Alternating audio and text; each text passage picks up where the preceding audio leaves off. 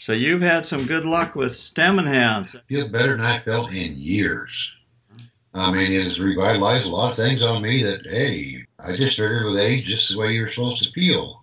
Well, of course, uh, one thing we want to make clear is that uh, the product itself does not contain stem cells. It contains a, a, an algae that helps your bone marrow release your own natural stem cells.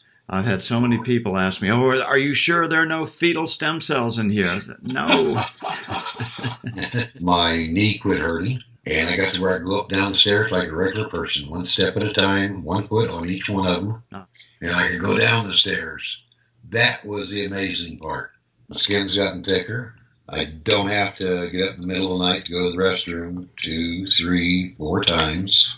How old are you? 68. I got tired of the injections in my knees and my back that never seemed to help. The painkillers just kept up getting my stomach more and more upset.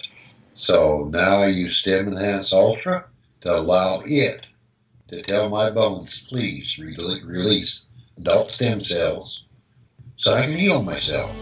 And so far, I think they're doing a good job.